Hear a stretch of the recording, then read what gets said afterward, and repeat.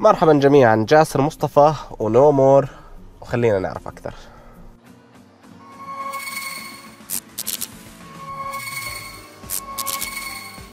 مرحبا. مروا فيديوهين حكينا فيهم عن إجابات الأسئلة اللي بتنحط في ال channel كان في منهم أسئلة مفيدة كان ممكن نستفيد منها وكان في منهم أسئلة صراحة كثير generic إحنا ما ممكن نجاوبها. كان في أسئلة أصلا بصراحة أنا بشوفها أو comments اللي هي ما بتساعد لا اللي حطها ولا بتساعدني أنا أحكي لك شو إجاباتها. ولا بتعطي ability للشخص اللي عم بوظف إنه هو يقدر يعرف إنه أنت هو الشخص المناسب. فخلينا نشوف شو عندنا كمان أسئلة ثانية. إحنا ممكن نستفيد منها إن شاء الله على ال channel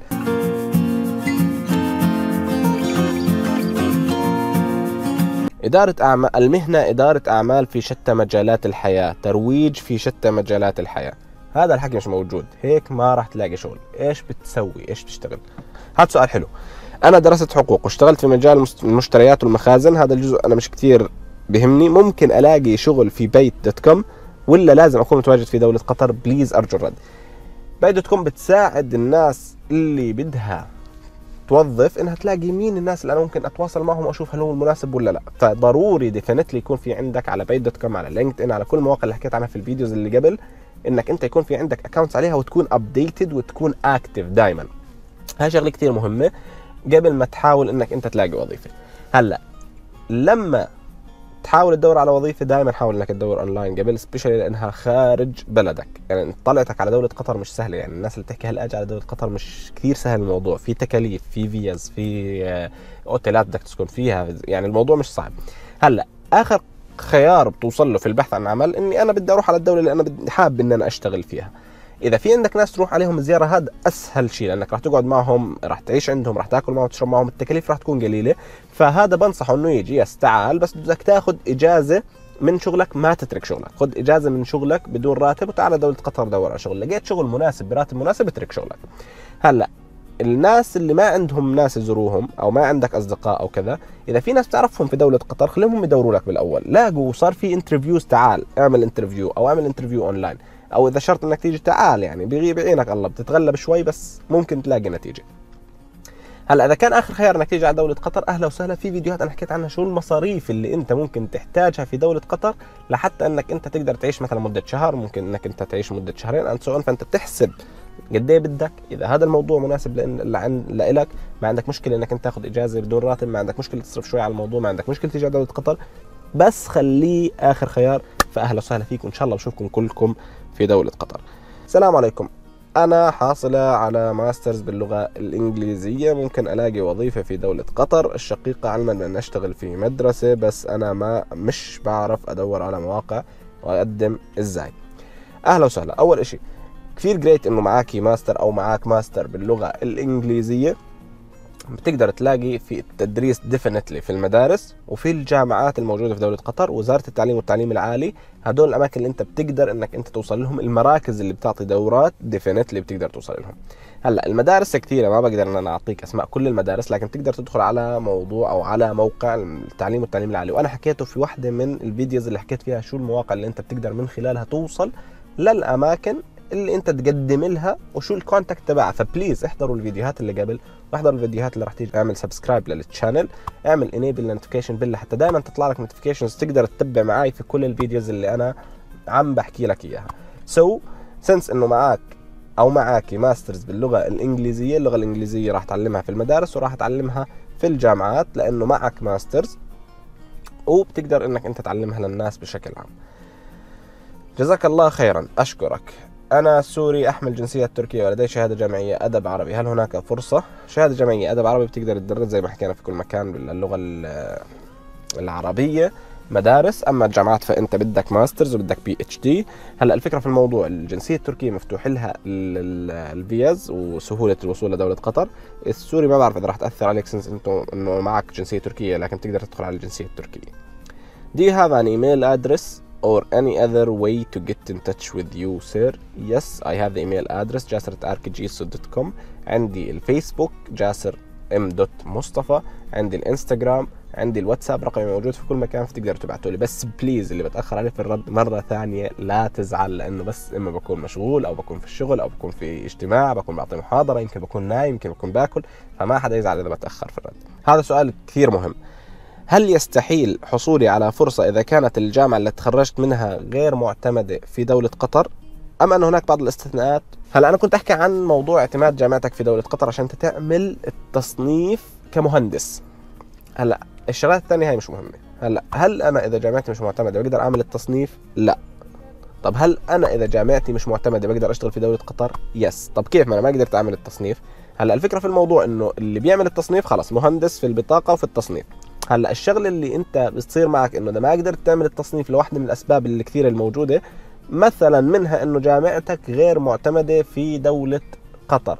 إذا الجامعة غير معتمدة أنت ما راح تقدر تصنف كمهندس فأنت ما راح يكون معك بطاقة التصنيف كمهندس وما راح ينكتب لك مهندس أو الوظيفة اللي فيها التصنيف. فالفكرة في الموضوع إنه اللي بيصير معك إنه بس بيتغير المسمى الوظيفي تبعك. يعني مثلا في مهندسين تغيروا ل draftsman مثلا أو لرسام أو لحاسب كميات أو لمدير أو لمبيعات أو ل whatever فالفكرة هي بس في المسمى الوظيفي إنه بدل ما كان مهندس تغير. هل في تأثير لتغيير المسمى الوظيفي في البطاقة؟ yes في مهن لها امتيازات المهندس في مهن ما لها امتيازات المهندس. المهندس أكيد له امتيازات معينة ومدير مثلا. يعني مثلا في شغلة دائما صديقي كان يحكي لي إياها إنه كل المهن اللي بحرف الميم مثلا في لهم امتيازات معينة المهن الثانية ما لهم امتيازات معينة. المهندس بيقدر يطلع رخصة قيادة مثلا. إذا كنت أنت مثلا واحدة من المهن let's say عامل نجار what ما بعرف إنه هل النجار مشمولة فيها أو لا بس ما بتقدر تطلع مثلا رخصة قيادة. فهاي من المواضيع المهمة اللي أنت لازم تحطها في بالك. ممكن ألاقي شغل بقطر أنا متجنس جنسية تركية. أي حدا ممكن يلاقي شغل في أي مكان. إيش تعمل؟ شو بتسوي عشان أحكي لك إنه في أو ما في؟ أخوي فرص عمل في فرص عمل للما معه شهادة جامعية معه توجيهي ناجح كعمالة أو باعة. yes بس بدك تحاول توصل للمكان اللي أنت بتقدر شو بتقدر تعمل؟ تقدر تشتغل في ال construction في فرص. تقدر تشتغل في البيع في المحلات في فرص تقدر في محلات كثير في المجوهرات في محلات كثير. أنت شو بتقدر تعمل؟ السلام عليكم أنا خريج شريعة وقانون. هل ممكن أجي قطر العمل على شهادتي أو كعامل عادي؟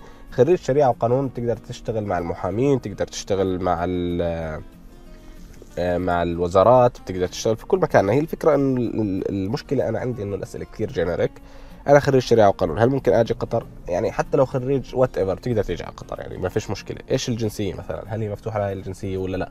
فالفكرة في الموضوع إنه الأسئلة كثير generic please حاول إنك أنت توصل لي الزبدة المهمة اللي أنا بقدر أجاوب عليها. أرجوك أخي أنا متحصل على ليسانس في التجارة الدولية ومتمكنة من الإنجليزية ويوجد هل يوجد فرص عمل في هذا المجال؟ yes كل مجالات فيها فرص عمل بس أنت بدك كيف توصل لهي الفرصة؟ خوية أو أخويا رحمة والديك أنا من العراق وأريد أجي أشتغل بقطر وما عنده مكاتب بالعراق والفيزا نطلبها تجينا مرفوضة. وين نروح؟ كلنا مسدود على العراقيين. ممكن تعرفني على على عنوان حتى نتواصل. ويا الله يرحم والديك. للأسف في الفكرة في الموضوع تزويد الجنسية أو تزويد الفيزا ما بتكون إنه والله عشان الجنسيه أنا راح أعطيك فيزا. إيش بتقدر تعمل عشان أنا أعطيك فيزا في هذا الموضوع؟ شو بتشتغل؟ يعني ممكن في في صراحة عندي أصدقاء كانوا عراقيين موجودين في دولة قطر. هلأ الوضع يمكن شوي صعب في الحصول على فيزا لكن الله يوفق الجميع. السلام عليكم أخي. يا ريت تفيدني معلومة أنا عراقية وأريد أقدم لجوء في دولة قطر. يا ريت ترشدني أرجو أنتظر منك رد. صراحة موضوع اللجوء أنا ما عندي عليه أي معلومة راح أحاول أحصل على معلومات وأعمل فيديو منفصل ف please كل إخواني العراقيين والناس اللي بتحاول تاخذ لجوء يعملوا subscribe لل channel عشان لما ينزل فيديو الموضوع عن اللجوء. إن شاء الله راح أحاول إني أنا آخذ معلومات عن هذا الموضوع أجمعها وإن شاء الله نعمل فيها فيديو منفصل. السلام عليكم أخي العزيز. أنا أرغب بالعمل في قطر. حبا في استراتيجية هذا حكيناه. السلام عليكم المصري لو سمعنا هذا حكيناه. أروح أشتغل في قطر ما حد يساعدني حكيناه.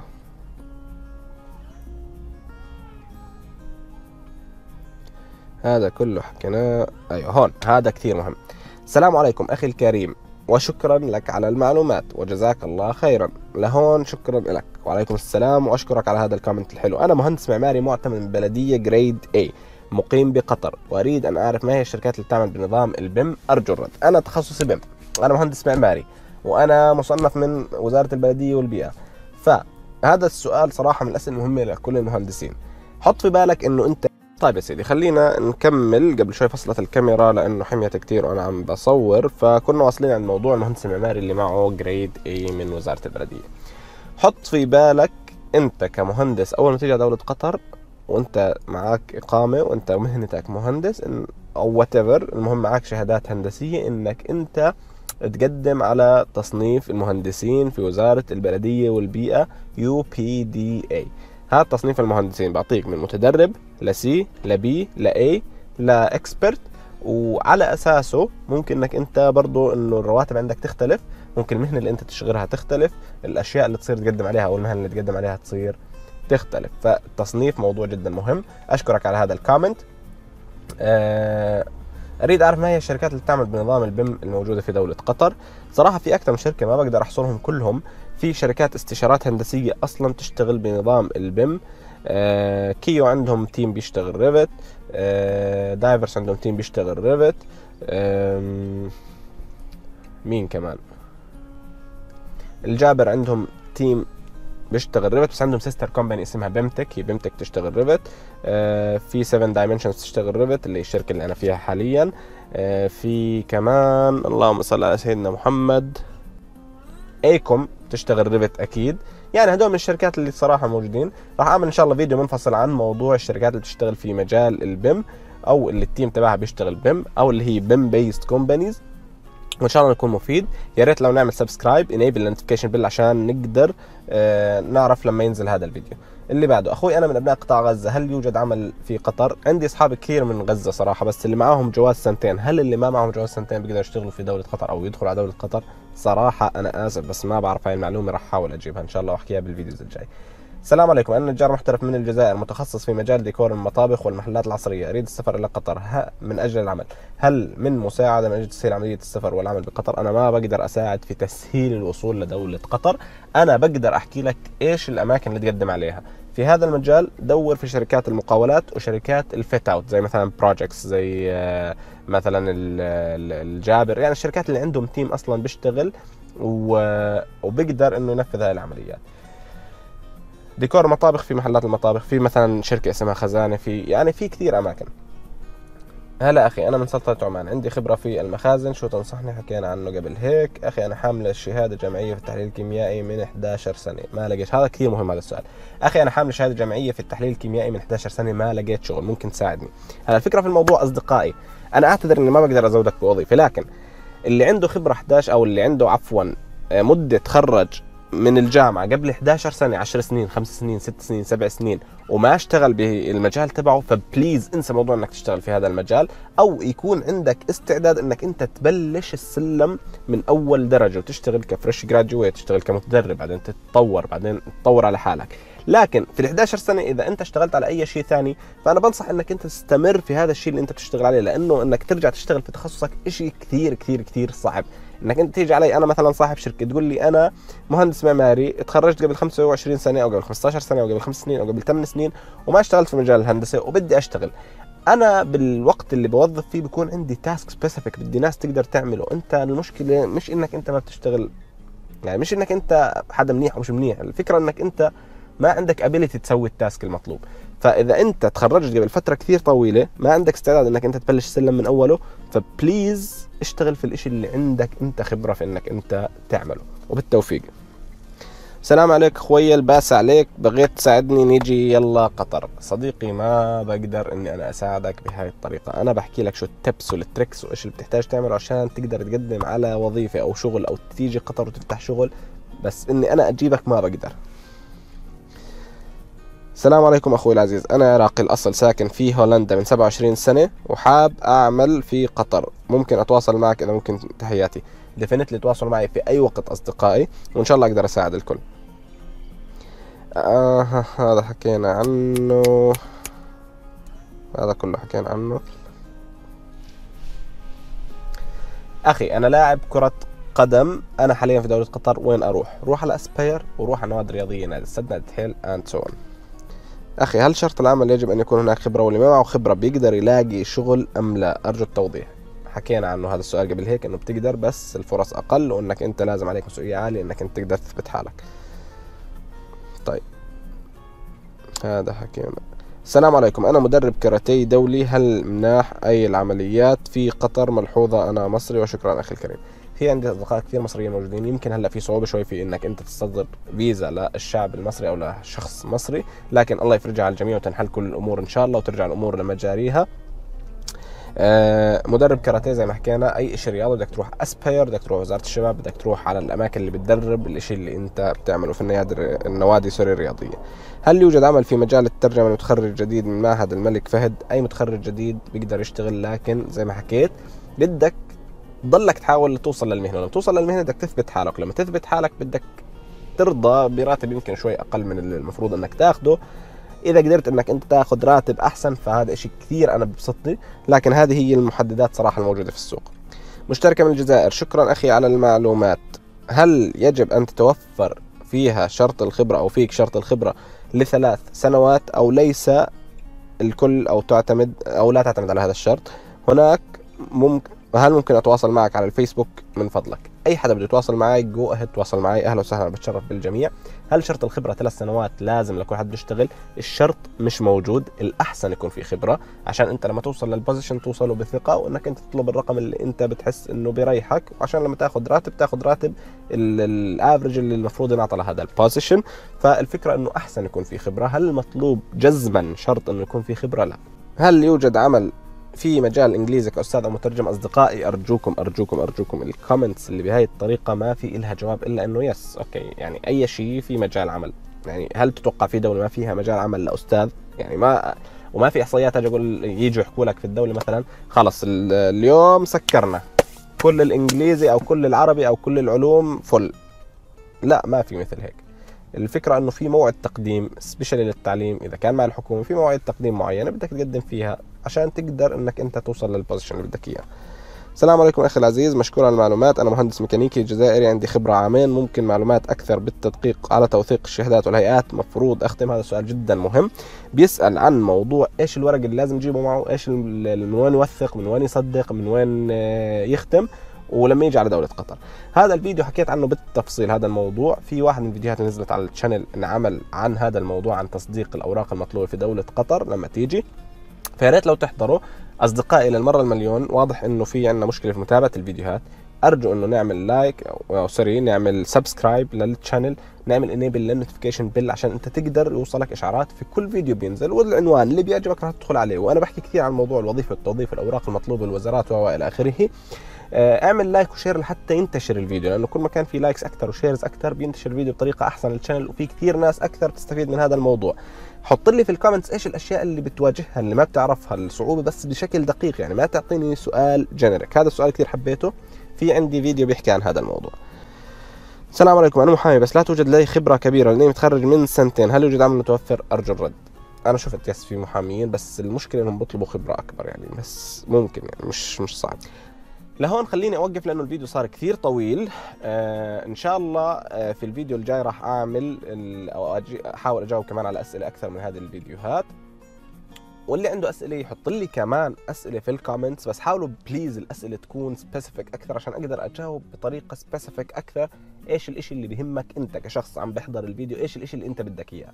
ما حدا يحط لي بدي شغل في دولة قطر ما راح أعطيك شغل في دولة قطر. please أنا راح أحكي لك كيف تقدر توصل للشغل في دولة قطر وأنت عليك تحاول وتقدر توصل. آه، اعمل like اعمل share please اعمل enable notification bells اعمل subscribe لل channel لحتى توصل لل channel لاكبر عدد ممكن لأنه هذا بيساعد ال channel إنها تنتشر. الناس اللي ممكن تستفيد من الفيديو بعت لهم هذا الفيديو. إذا عندك أي أسئلة أو إذا في عندك comments إنك ممكن تساعدنا بهذا الموضوع ف please حطها في ال comments واحكوا لي إيش الأشياء اللي بتواجهكم للناس اللي حاولوا يوصلوا لدولة قطر وإيش الناس اللي مخوفتكم للناس اللي ما حاولوا يوصلوا لدولة قطر. شكرا لكم بشوفكم فيديو جديد ونو مور جديدة وثانك يو ومع السلامة.